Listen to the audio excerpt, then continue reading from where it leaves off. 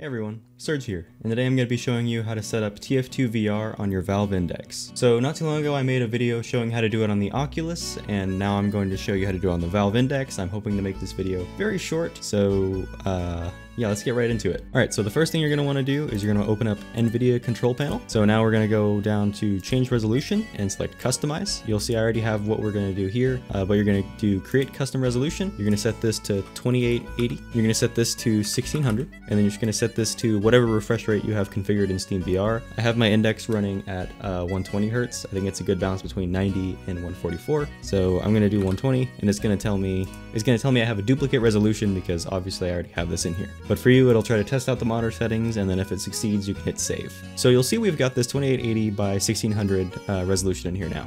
Hit OK. That's all we're going to do in the NVIDIA control panel. Go ahead and close that down. Next, we're going to go ahead and open up Steam, open up Steam VR. obviously, uh, have your headset connected at this point. I always have it connected because I think most people do. So now that Steam VR is starting to pop up, we're going to click on the three bars here, go down to Developer, Developer Settings, and when the Developer Settings open up, for some reason I'm opening another monitor, uh, we've got this option of Disable Direct Display Mode. Select that. It's going to give you a warning that it's going to tell you what Direct Display Mode does if you don't know. It extends the headset onto the desktop, so basically it's seeing the headset as another monitor, and it's not recommended, but we want it for TF2 because this is based on really old VR stuff. So we're going to say yes to this.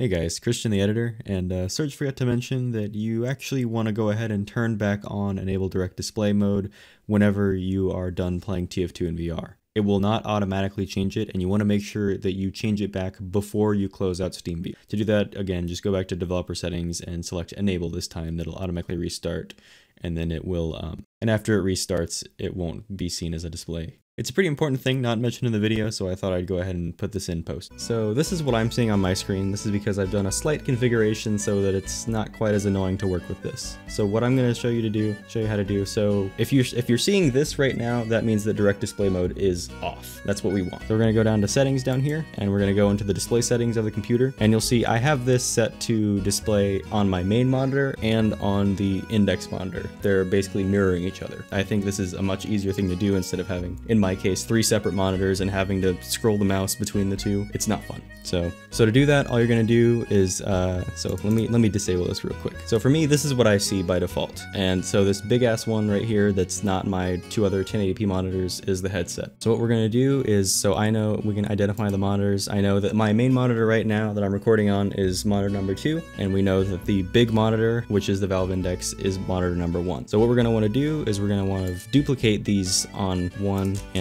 2. So the reason I want to do this is it's much easier to see what you're doing than having to use the actual headset as another desktop screen. It's really awkward and I don't like it, so that's why I want to do this. Not necessary, just easier. Okay, so now that we got that set up, that's basically all of the difficult uh, configuration for this. Now I want to go down to Steam and go right click on TF2, properties, and you're going to want to copy down these launch options right here. I'll put them in the description so they're easy copy and paste, but it's just VR and then the uh, dimensions of your headset. That's all you need. You can have other stuff too, but uh, you need those for sure. And then you also want to make sure that use desktop game theater while SteamVR is active is ticked off. We do not want to have SteamVR open up when we're trying to open TF2. And that's it for the configuration. So now let's go ahead and get into actually playing the game. Oh yeah, and you'll also get this warning about uh, TF2 not supporting VR. It does support VR, just very poorly. So just go ahead and ignore that. Hit OK. Sorry, I have a Voicemeeter Banana and I forgot to change the audio settings, so this is gonna look kind of weird for a second. This is actually a good time to uh, describe another thing. So if you ever have to tab out of TF2 for whatever reason, uh, you'll see this, you know, these red dots again that kind of shows your HMD display.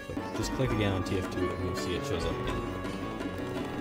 Alright, so now I have audio, and uh, gotta be honest, it does look kind of weird. So the menu, just it looks like the normal menu, but it's really small right in the center of your uh, screen.